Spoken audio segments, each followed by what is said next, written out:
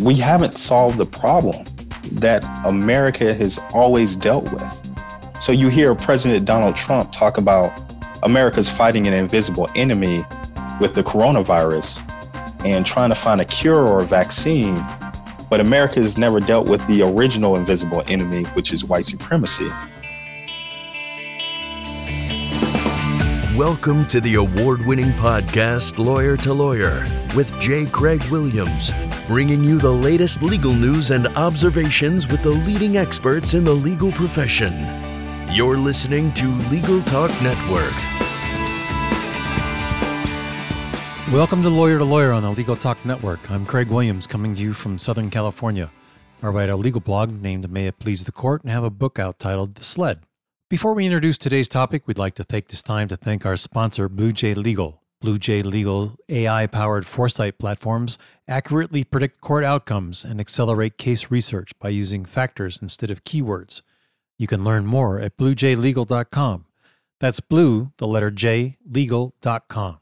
bluejlegal.com. On February 23, 2020, Ahmaud Arbery, a 25 year old African American man, was gunned down while jogging through a Brunswick, Georgia neighborhood, just steps from his home.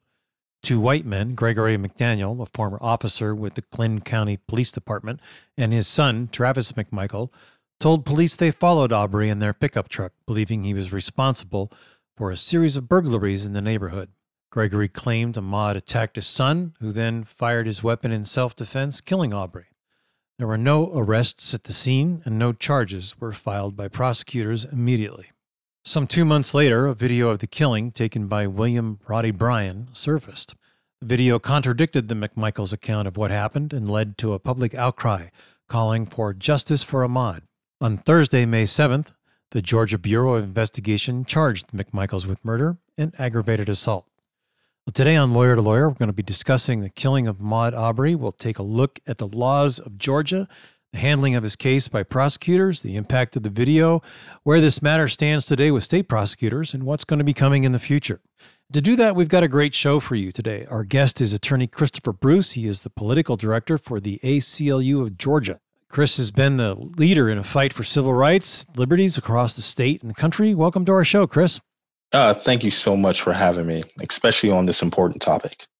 So much so, yes. And just to start us off, let's get a little bit of more background and uh, context, a little bit of a timeline, perhaps, of what the circumstances are that are going to form our discussion today. So I, I think your timeline of events is exactly uh, the way that I would portray it. There are other things I will add into this, which is what we're calling for the resignation of the district attorney Jackie Johnson and the resignation of the district attorney Barnhill for impropriety and loss of trust by the community. We're echoing the sentiments of the people of Brunswick and Glynn County and others in that area that is under that jurisdiction for their mishandling of this situation and the case. To clarify and put this in perspective, February 23rd, 2020 was when this killing happened, like you said before. And then May 7th, these individuals were in handcuffs. That's 74 days that these people were out in the community after committing murder. May 5th was when the Georgia Bureau of Investigations was called out to say, we would like you to investigate this case, which is the proper procedure. As I understand it, the GBI cannot go in unless a jurisdiction asks them to come and investigate. So they receive the file on May 6th, they go through the file. On May 7th, these people are in handcuffs. That's a far cry of what happened on February 23rd. And after going through three different district attorneys and no arrest being made, I have to commend the Georgia Bureau of Investigations of actually doing their job to uphold justice. But now it's like one of those type of things of when you see a light switch go on, you expect it to happen. When you see your TV turn on, you expect it to happen. When you see a murder in the street, you expect people to be arrested for it. And that's the problem. So that's why we're not praising the GBI for doing their job. They need to do their job. And now we're trying to make sure that justice is done in this case. Well, Chris, let's talk about those prosecutors. You know, there were, as you said, there were three. From what I've read, two of them said that they had some kind of a connection with the gentlemen that are charged, if you want to call them that, the two men that are charged. And so they recused themselves. But it sounds to me 74 days is an awful lot of time for that kind of stuff to happen. And then there's the question of what one of those prosecutors wrote that the the uh, victim was responsible for the problem. What what's the background there? So you're going to have different stories based off of what you said. And I'm sure this isn't anything new. On February 23rd, it seems that police, while they were questioning the two suspects, they had called up the district attorney's office and they got in touch with two district attorneys. That's not the dispute. They, we know that there was a call by the Glynn County Police Department to Jackie's uh, district attorney Johnson's prosecutorial department. And the disparity comes in where the police officers are saying that they were told not to arrest these individuals, compared to the district attorney's office of saying they never gave such an order. And that's where the problem arises. Then the second part, the district attorney Barnhill, he gets the case and he issues an opinion about the case of why these individuals who should be arrested were not arrested and then recuses himself as well. So, this is why I think a Department of Justice investigation is proper in this situation, as well as a state organization like the GBI to look into the misdealings by these two district attorneys. So, are the police also going to be investigated? Because isn't it the responsibility of the police themselves to make the decision to arrest or not to arrest, and then to ref- whether to refer it to a DA? Right. So, I'm going to let you in on a little breaking news. Yes, we are signing on to a letter of asking the Department of Justice to do an overall review of everything that has happened in this case, including the police. Uh, one of the things that the ACLU of Georgia is doing is talking to people on the ground. In fact, I'm going back out there tomorrow to have discussions with them regarding, not to go too deep into it, making a citizens review board so they can look into police actions and they can have another type of grievance against them and another check on the police to make sure something like this doesn't happen again. Because that's what we're concerned about, making sure that something like this does not happen again. Exactly. Now, there are some circumstances that have shown up in video later that shows the home that was in under construction and mm-hmm. a gentleman who has a white t-shirt and appears to be what's what's the circumstances with that so you hear different stories from different people again, of course, but it seems that the video shows a gentleman walking into on someone else's property and is uh, just looking around and then just leaves. It doesn't say anything regarding he took anything, he destroyed, or at most there's a trespass, right? I mean, at most there's a trespass. So there, that's where we're actually looking into this, and I may be out of date on this, but I remember when I was a third year in law school, and I was doing my internship at a prosecutor prosecutor's office, and I had a case where an individual was arrested for trespassing. The person that I reported to, I said, okay, well, let's just offer him pretrial diversion. And she said, drop the case. I said, drop the case. Why are you saying that? He said, "Did is there anything in the police report about the owner of the property telling him to get off?" Said, "No." And then we looked up Georgia law. It says that you have to be told to leave the property or the premises by the owner or somebody who is authorized by the owner. And that was one of the first cases I was ever able to get in Allfrost. I'm glad for that issue. So I'm looking back into the code itself. Even if there was an instance, if the owner is not telling you to get off your property, you don't have to get off the property at the time. And there was no harm. No harm.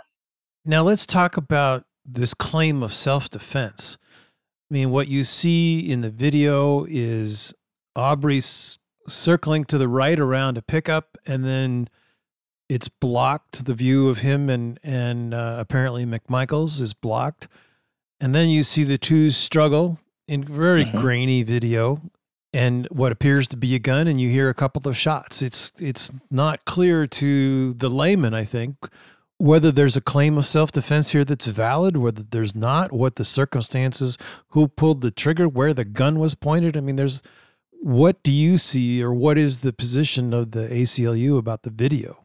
So i'm glad you brought that up and that i'll circle it back around to your previous question of georgia's citizens arrest statute allows a private citizen to arrest someone if they if a person has personal knowledge in their presence that something of a crime had happened. We don't know, and the people who were watching Mr. Ahmaud did not know that a crime had actually happened at this time. And that's one of the reasons why we want to get rid of the Georgia Citizens Arrest Statute altogether, because private citizens empower themselves to become vigilantes and try to confront others within this. Well, it's a little bit more than a private citizen. This is a retired policeman who is a private citizen. And we now, might be going over semantics. No, but I mean in the sense of in the common tort knowledge that person with higher levels of training has a higher degree of responsibility. I agree. Completely agree. And they should act within that way, right? Right. I, I think we're dealing with messaging. So I'm very careful because the public sometimes gets confused within that. He should be charged as a private citizen. So when it comes down to grand jury investigations, police officers in the state of Georgia are allowed to have counsel during grand jury hearings and submit evidence as well. The private citizen does not. So that's that's one of the things where I'm trying to make sure that the right procedures of process, due process, are done. Well, this has already been this already been charged, so they've bypassed the. You know, there was some there was some noise about a grand jury proceeding, I think, when it was right. in the county prosecutor's hands. But now that it's been in the state prosecutor's hands, they just bypassed the grand jury. And as you said, a day later, charged it.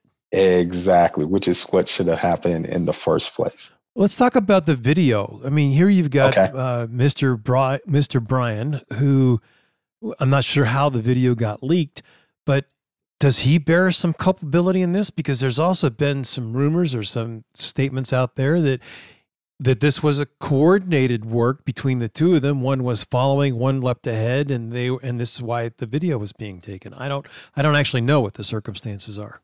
We don't know either because what it looks like is almost similar to a lynch mob, right? Some people are saying, "Hey, we're going to go track this person down," and then hey you need to come along with us and this individual decides on videotape as well. So i i call on a full investigation of this individual as well to see if he's actually culpable within it. I don't want him to be able to get off of saying well i was just following and i had absolutely nothing to do with it because typically people don't just follow after other people when they see that they're trying to chase down someone and arrest them. They're typically a part of that party I think that's up for a fact finder to determine.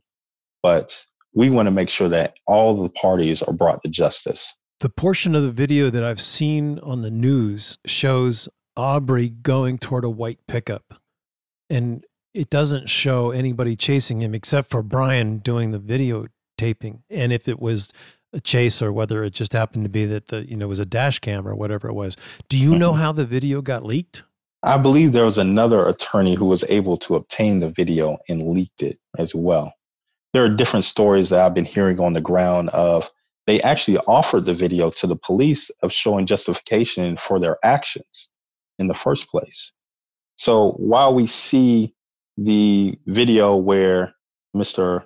Ahmaud is actually going forward and into a truck, there are other situations where there were other recounts of the two suspects, their stories change all the time. They drove in front of him. And as you can see in the video, the truck is at a is veering left. So is they drove in front of him to deter him or get in front of him and cut him off.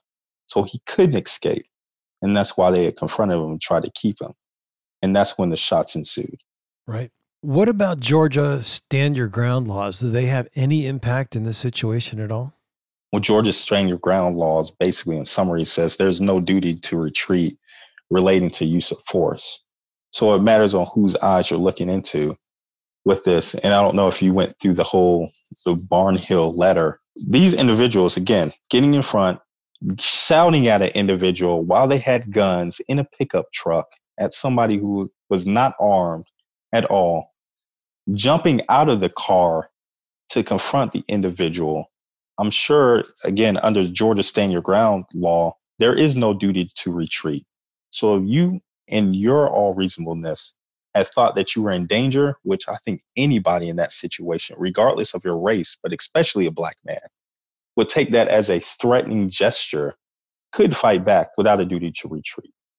So I don't think that they can claim a stand your ground law at all. I think Mr. Ahmaud, if he was still here, would be able to, though.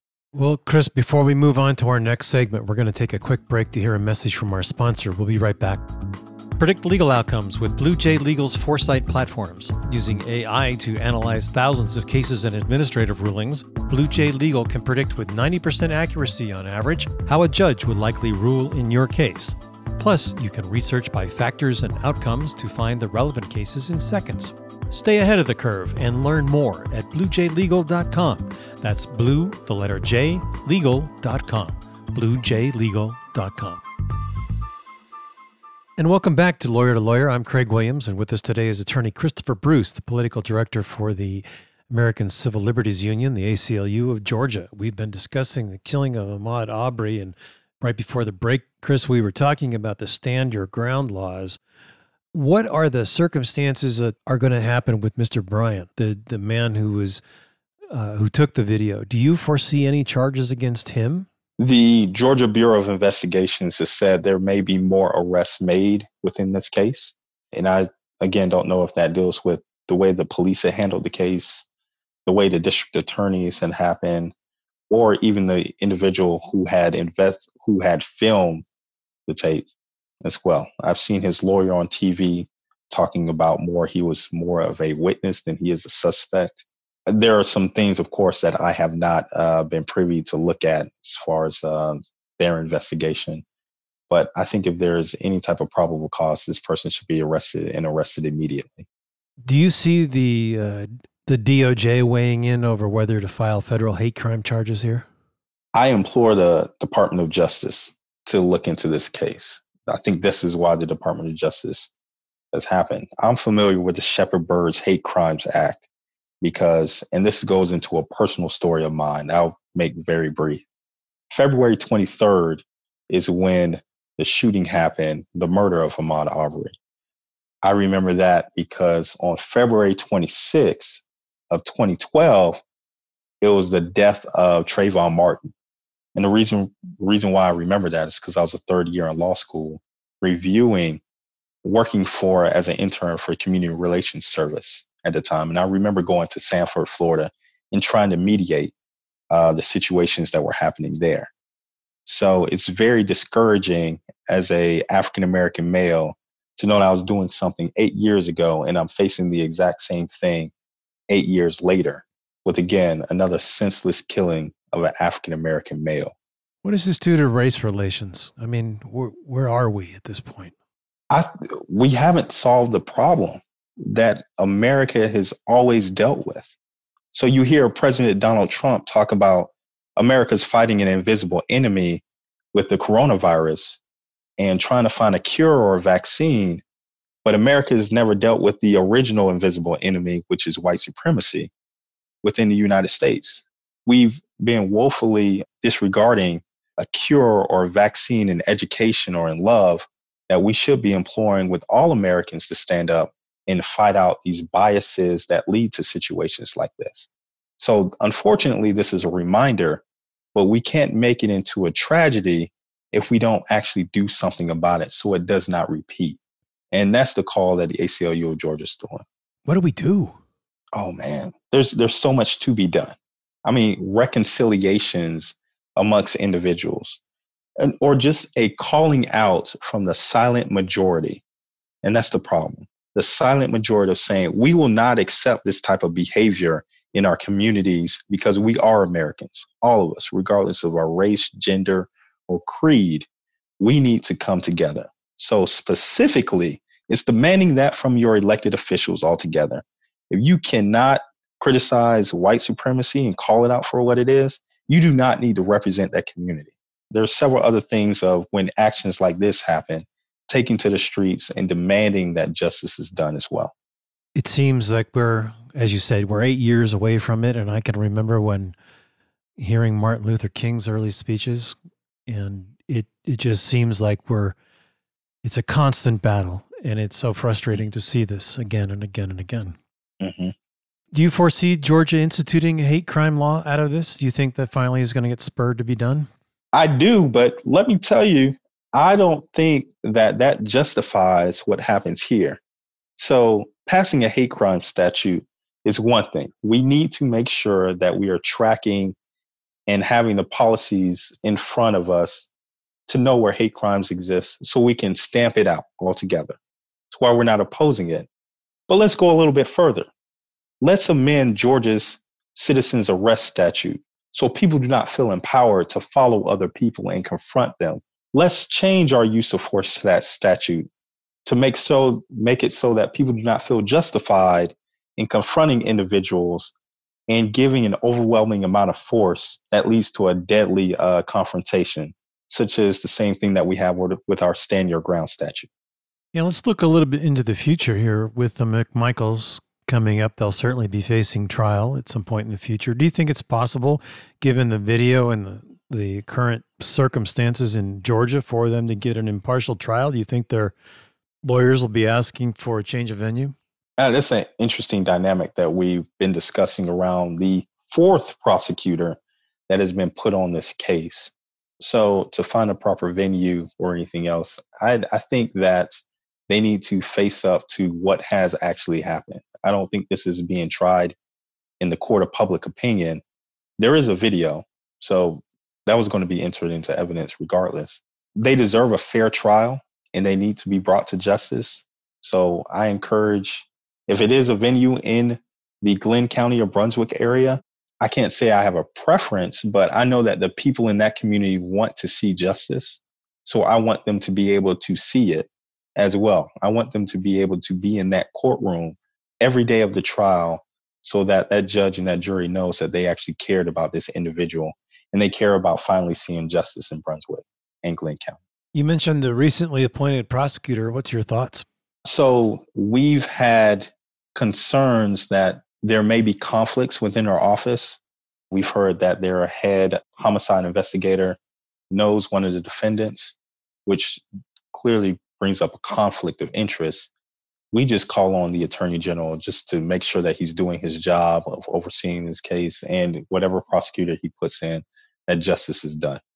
What defenses do you anticipate the McMichaels offering in their trial? That is a great question because I don't see how you can literally put up a defense in this type of situation. Of course, they will come up with one, but using the second district attorney who recused himself, if you use his playbook, he will bring up the Georgia Citizen Statute, our use of force statute, our open carry statute saying that it was an assault for him to come up and um, have a gun when confronting an individual and of course the stand your ground statute. Right. Well, Chris, thank you so much. It looks like we've just about reached the end of our program. So I'd like to take this time to invite you to share your final thoughts along with your contact information for our listeners. Well, I just want to again thank you for bringing me on. I think that as much public opinion towards this, we can actually get to a place where we can start solving this issue. I don't want this story to die off. People need to follow this and demand that justice is done all the way until the court case is finished. And then afterwards, making sure that there are clear perspectives on how to make change in Brunswick and Glynn County. So if you want to follow us, you can go to acluga.org, Justice for Ahmaud, and you can also follow us on our social media, which is ACLU of GA. Great. Well, thank you so much. And as we wrap up, we'd like to thank our guest, attorney Chris Bruce, for joining us today from the Georgia ACLU It was a pleasure having you on the show. Hey, it was great to be here. Thank you for doing this as well. Thank you.